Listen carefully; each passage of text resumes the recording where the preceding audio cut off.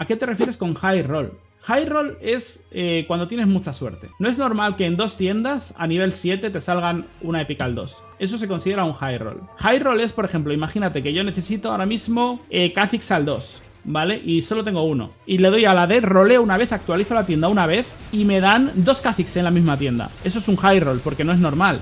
Es demasiada buena suerte. De la misma manera, low roll es lo mismo, pero con mala suerte. Y bueno, pues a esta persona le vamos a reventar.